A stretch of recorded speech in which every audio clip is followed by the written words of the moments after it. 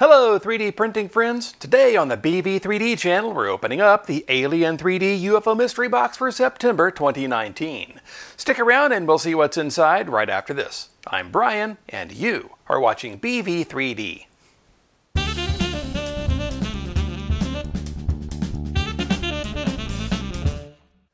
Hi, welcome back. Hey, if you're new here and you're wanting to learn about cool 3D printer upgrades, 3D modeling, and other 3D printing related stuff, start now by subscribing and clicking the bell so you don't miss anything.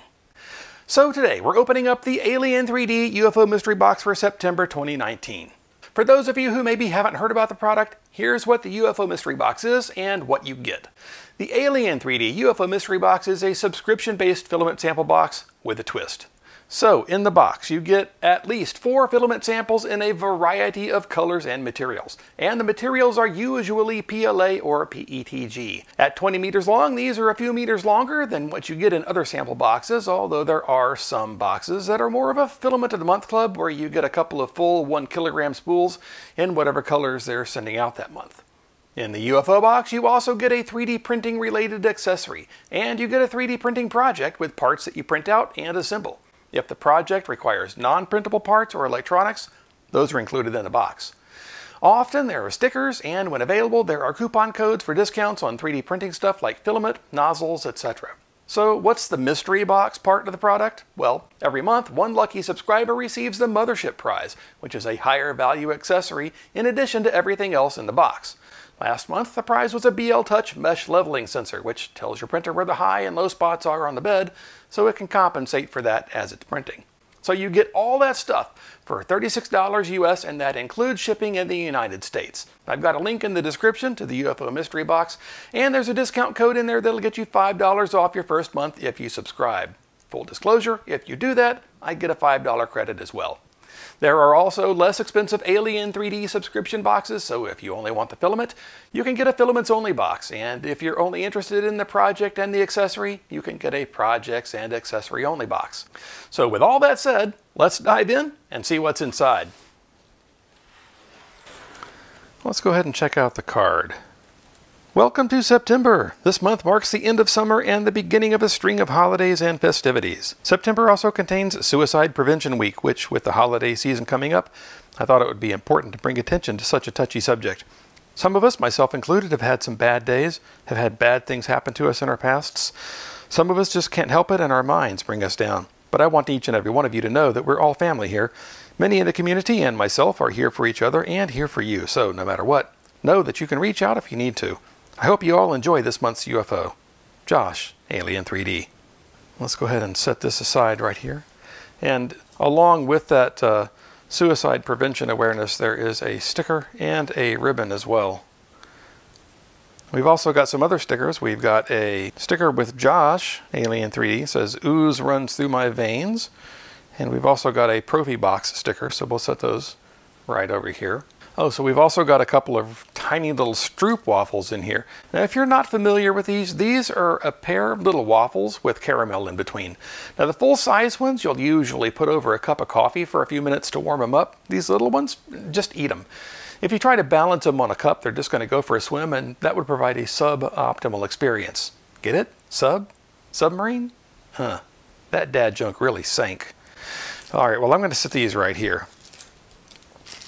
So, ah, here are the project parts.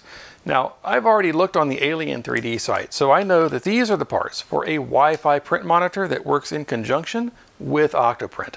There's a USB cable, a tiny, tiny OLED display, and a tiny, tiny Wi-Fi enabled Arduino sort of thing.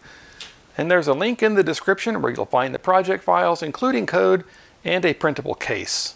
The accessory this month is a dial indicator. This is a tool that you mount to the carriage on your printer and use it to see the high and low spots on the bed.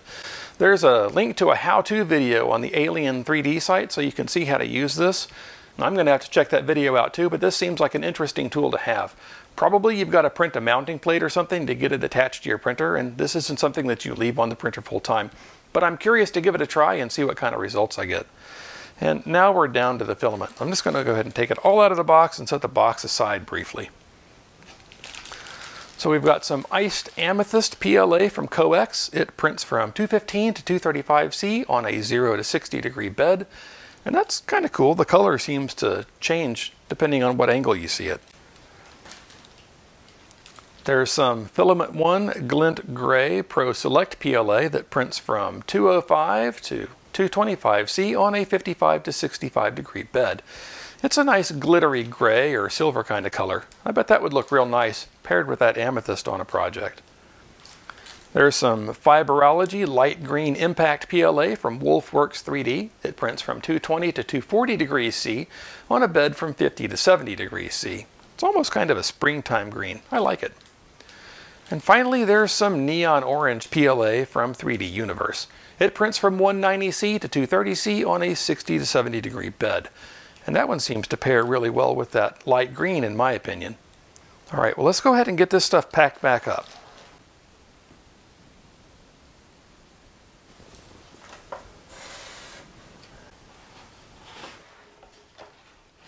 So this month's box is pretty good, I think. The filament colors are all really nice. The dial indicator looks like it'll be a handy troubleshooting tool, and I've got an idea of what I want to do with that Wi-Fi print monitor. Now, I'm not going to use the case design that's on the Alien 3D site. I want to do something a little different with it, so that'll probably get its own video like last month's Robot Arm did. So just as a side note, has anyone else noticed the top end temperature on PLA these days? It's like they're all maxing out at around 230 or 240 degrees C. Back when I first started my 3D printing adventure a couple of years ago, PLA was a 185 to 195 C sort of product. Maybe 200 degrees C if you were having trouble getting it to feed.